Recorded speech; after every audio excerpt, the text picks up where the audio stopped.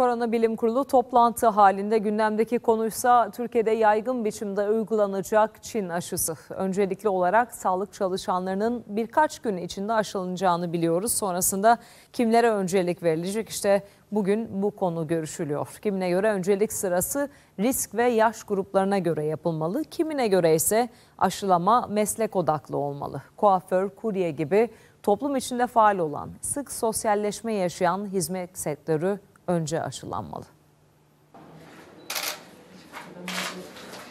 Aralığın e, 11'inden sonra sağlık çalışanlarımızdan öncelikle başlamak üzere Tarih netleşti. Çin aşısı Sinovac 10 gün içinde sağlık çalışanlarına yapılacak. Peki ardından kimler aşı olacak? Sorunun yanıtı için bilim kurulu aşı gündemiyle toplandı. şu an bilim kurulumuz bununla ilgili bir stratejiyi hazırlıyor. Sağlık çalışanlarımız tabii ki riskli kişiler öncelikli olacak.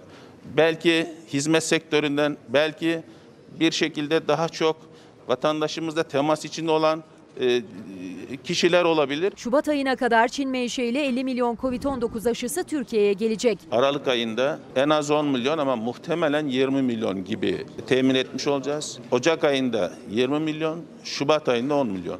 Biz bu rakamları daha da arttırma gayret ve çabası içindeyiz. Aralık ve Ocak ayı daha yoğun aşılamayı planlıyoruz. Covid-19 virüsü toplumun %60'ına bulaşırsa bağışıklık kazanmak mümkün oluyor. Hacettepe Üniversitesi Tıp Fakültesi Çocuk Enfeksiyon Hastalıkları Anabilim Dalı Başkanı Profesör Doktor Mehmet Ceyhan, bağışıklık için kaç kişinin aşılanması gerektiğini hesapladı. bir e, toplumda e, salgının sona ermesi için e, gerekecek aşıyla bağışıklık insan miktarı belli. Bu aşağı yukarı %60 civarında, 55-60 milyon civarında kişinin aşılanması demek. İki doz olduğuna göre demek ki işte e, 110, 110, 20 milyon arasında e, aşı kullanacağız demektir. Çin aşısının koruyuculuğu henüz açıklanmadı. Bağışıklık sağlanmasında bu oran önemli. Diyelim ki işte yüzde yetmiş, 80 etkili bir aşı olduğu ortaya çıktı. Bu yüzde 60 bağışıklığı sağlamanız için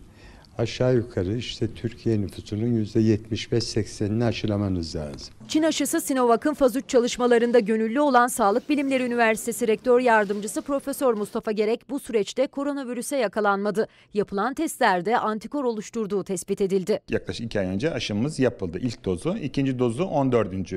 günde yapıldı. Yeterli düzeyde antikor oluştu. Bu antikorun beni koruduğunu da düşünüyorum. Herhangi bir yan etki hissetmedim. En önemli vurgulamak istediğim buydu. Çünkü bu aşı tekniğinde e, ölü bir virüs enjekte edildiği için genelde fazla bir yan etki beklenmez.